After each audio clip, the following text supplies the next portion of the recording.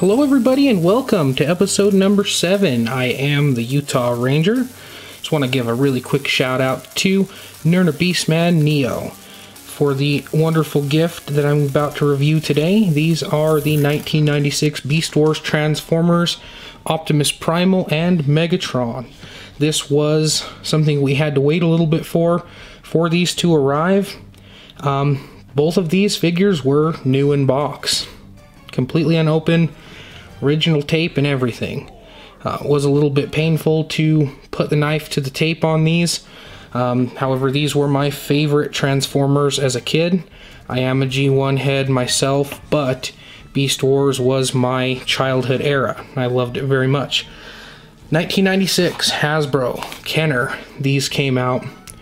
And in all honesty, for the time, they were really, really nice figures. They turned a new leaf, I think, with Hasbro on the Transformers side when they decided to do the Beast Wars figures, and it was a, a pretty cool line. It wasn't a huge line um, like G1 and, and G2 was, but the actual articulation on the figures and the cool little individual features that each one of the figures had was, I think, a revolutionary situation for Hasbro and Kenner to actually release these. But the coolest part about these are the fact that they have not been transformed yet. We're going to do that today. So, if you can see here, I do have the business card. He's another really cool, really good, good quality reviewer, Nerner Beastman Neo. You can find him on Facebook, you can find him on Instagram, as well as on YouTube. And these were gifts from him. He's a really cool dude go. I would definitely recommend going to his channel, um, watch some of his videos, subscribe to him. And the first thing we're going to do is I'm actually going to show these instructions. These are the original instructions in the bag. Um, I'm not going to use the instructions because I had these figures as a kid and I feel like I'm proficient enough and remember enough about these to be able to effectively transform these bad boys without the use of these instructions. These these um, transformers are not super complicated. Um, they are a little bit weird if you've never transformed them before, but I feel like I'm familiar enough with these to do it. Now, um, a little bit of lore before we move on to the transformations. Optimus Primal on this side, Megatron on this side, if you're not familiar. Now, these two are not actually Optimus Prime and Megatron that we know from G1. Um, Megatron actually got his name from taking on the ancestry from Megatron. He is the leader of the Predacons in this situation. Um, however, Optimus Primal um, took his name also from an ancestry kind of situation, moving down the line, which is weird because kind of hard to tell in the the whole time flow of things when Beast Wars takes place as opposed to G1, and it's kind of a lore mix-up situation. But um, you can actually go on and you can find some pretty good clarifications of what the time frame was like with Beast Wars and G1, and you know moving on to Transmetal, and, and uh, the lore is a little bit confusing, but he's not actually Optimus Prime He's Optimus Primal. So these two are different Transformers. Um, I do believe Transmetal, they absorbed Optimus Primes and Megatron Sparks.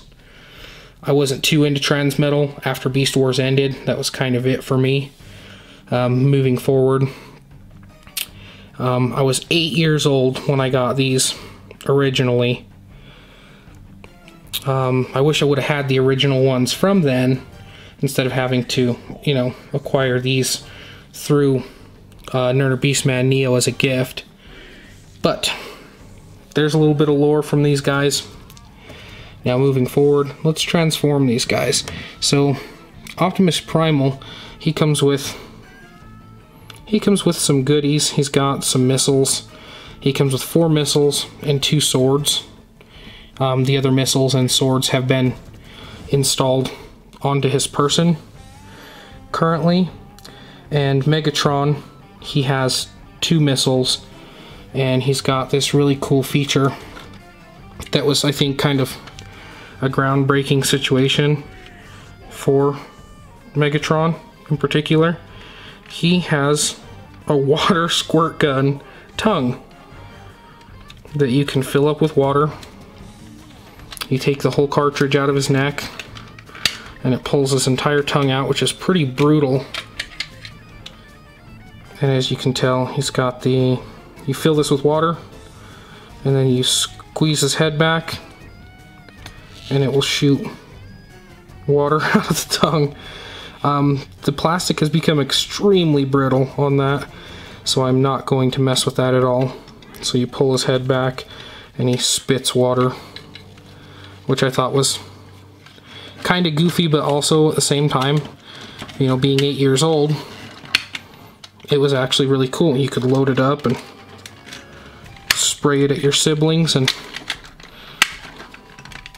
make them angry.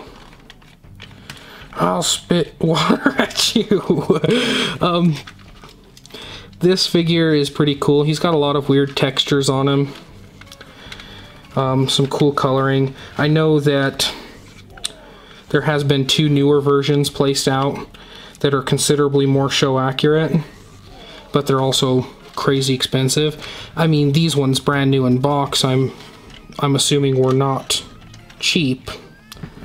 How about that close up? I'm ready for my close-up, Mr. Spielberg. Come on, focus. Focus on his face. Yeah, so they're cool. I mean, I will eventually get the remakes that they did too, the more show accurate remakes, because I do plan on collecting those as well. But, I mean, for 1996, these were really cool. They're not super show accurate, especially not the color scheme for Megatron in particular. Um, now, keep in mind, these are super, super fresh figures. Um, I just took these out of the box. So they are legitimately brand new. Brand spanking new figures. So there's Megatron's goofy tail, tail arm. And we're to put his little baby T-Rex arms backwards and out of the way. And we're to flip down his his weird chest plate. And we're going to pull Megatron's head out. And each one of the Beast Wars figures, um, if I remember correctly, they had these really cool, weird kind of masks that came with them. I do apologize if the camera angles are really funky. Um, so we're gonna pull these hip joints out, move his his dinosaur wings back this way, and we push his hips. He has these weird little flap pieces on his hips here that actually will clip into place.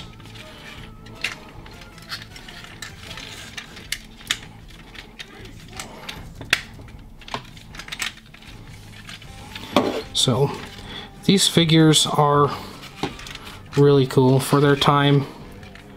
I feel like they did a good job with these. There's Megatron's goofy head.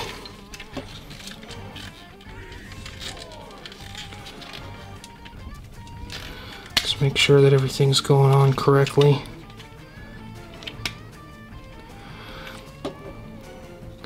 The one thing you don't want to do with older figures is force plastic into places because um, you really don't want to break anything. The plastic could potentially be brittle. I don't want to break anything. So I like these figures and I don't... See, he's already attacking the camera. Come on, Megatron, show some mercy, would you? Just a little bit. I don't need a lot of mercy from you, but I do ask a little. So, these are his dinosaur hip-mounted missiles. And then, of course, he's got the weird, consistent dinosaur legs. And he's got one arm that's a tail pincer. And he's got one arm that is a dinosaur head. so he's he's goofy, but Megatron's always been kind of a goofy character to begin with. He's never been um, a favorite of mine, Megatron. I'm definitely a, a hero person myself, a hero fan. Not a huge fan of the villains in almost any any series. But here's our boy, Optimus Primal. The giant Cybertronian, partially, um, partially, partially animal, partly metal, partly real. Silverhawks. Hit like if you remember that one. So we're to give him the weird elephant toes. Three-toed elephant squad. Flip him around his legs and put down his hydraulically assisted robot feet. So we could leave him like this, and he would look super goofy. Megatron, you'll never get away with hitting an animal. PETA will not be having that. Um, so then we're gonna flip out his head. We're gonna kind of unhook these pieces under his arms because those are his shoulder pads. Let's actually put his arms down. His arms have kind of a, a goofy feature that I wish that they could have done a little bit differently, but didn't. Alright, this is the first time that this head has been down and transformed. So I'm super stoked and also partially scared. But you flip his face around and that clips down into his chest there. And that's Optimus Primal's chest piece. And then I always wondered why he has the weirdest, scariest looking face mask over over his normal face. He's it's horrifying. Look at him. It's absolutely terrifying. I mean, it's cool. It's cool though. Optimus Primal's our boy. We don't we don't trash his appearance. I mean, yeah, he's a little little weird, but here is the good stuff here. This is the face that we all know and love. Didn't change much from G1. I'm Optimus Primal. Before time began, there was the Rubik's Cube. He's got all sorts of cool stuff. He's got flip out guns. And this is where his other missiles go. And I do apologize if the camera angles suck. Um, this is the first Transformer style review that I've ever done before. So I do apologize if the quality sucks or if the camera's not focusing right. Um, but I wanted to give you guys a, a Transformers review because I know we've got a lot of Transformers fans out there as well. I myself am a Transformers fan. And let's actually bust out the crazy mace out of his arm. Look at that. That's what I'm talking about. So he's got some stowaway weapons. And we're going to put his arm back together. And he will wield this on this hand.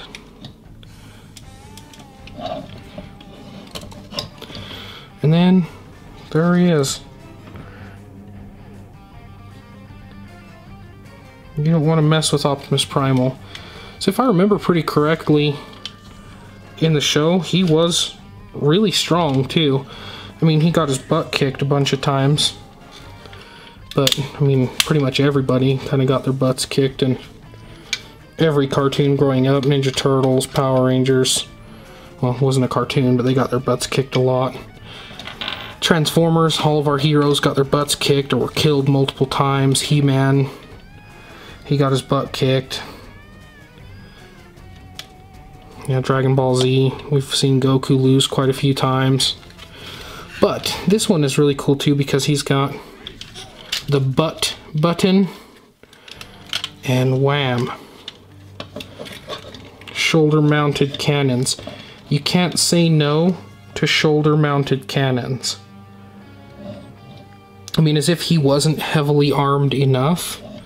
He's also got his swords right there, his stowaway curved blade swords, which I thought as a kid were super cool. You can actually get these on one of the Transformers games. I believe it's Transformers Devastation. And they just have a plethora of different weapons that you can you can choose from. And those swords in particular are actually on that game. But here are Optimus Primal and Megatron fully transformed. Prime. Uh, my name is Primal. Oh, my mistake. My mistake, Primal. But I like him a lot. And I'm super, super grateful to Nurner Beastman Neo. He is the bomb for getting me these. Uh, it's totally unwarranted. He just decided to gift me with them one day, and you know, the rest is history. So that's them transformed. You know, they've got their hidden weapons and stuff, and um, Megatron's got his Batman mask. That's what it looks like to me as a bat. And I'm not sure what Optimus Primal's is. It kind of looks like um, an insect or something. But this Optimus Primal was my favorite figure as a kid. I took him everywhere with me. And I can't remember how many times I shot the missiles at my siblings and lost them and then found them later. And eventually, I think my original figure had one missile left. I never lost the mace, however. The mace was always always apart because I never really took it out of his arm. So I always had him use his swords.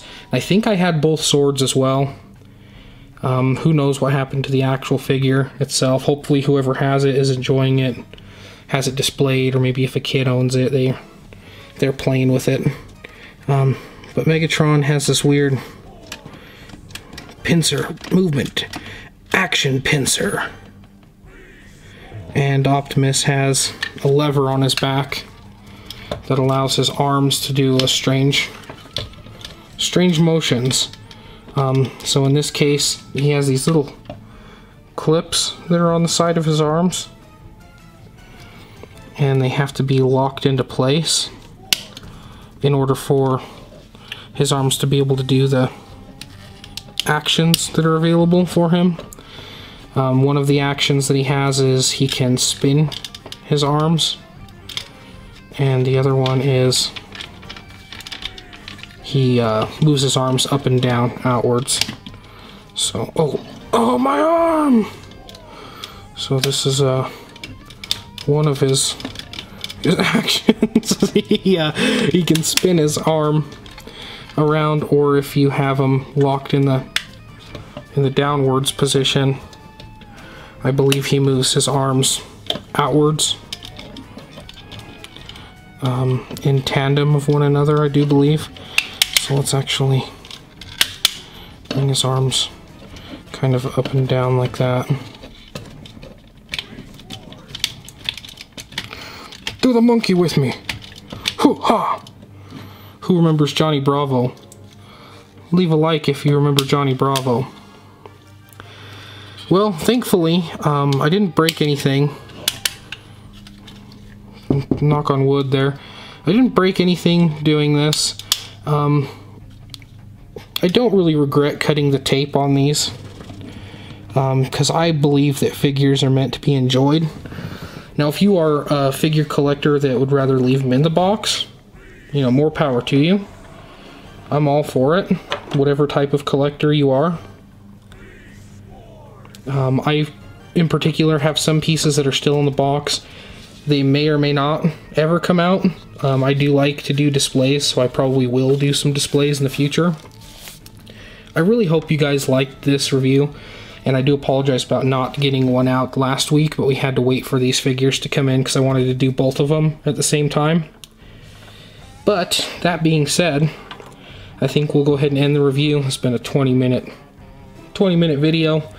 I appreciate you guys. If you made it all the way to the end, you guys are the real champions here. Leave a like, subscribe, comment, let me know what you thought.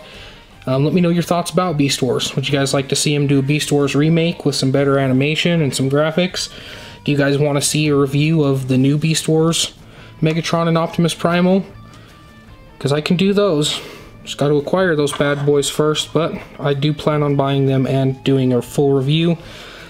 Let me know if you guys want to see more Transformers in the future, because uh, I definitely want to do some more. Um, I've got quite an extensive collection of all sorts of different things. Um, let me know what you guys want to see. I appreciate you guys. Remember, you can find me on Facebook, Twitter, Instagram, The Utah Ranger. If you're curious, we've got the Utah Ranger official fan page on Facebook. If you guys want to go and participate in polls, discuss, leave photos and videos of your collection, you're more than welcome to do so. I appreciate you guys hanging around with me. I will see you guys in episode number 8. May the power protect you.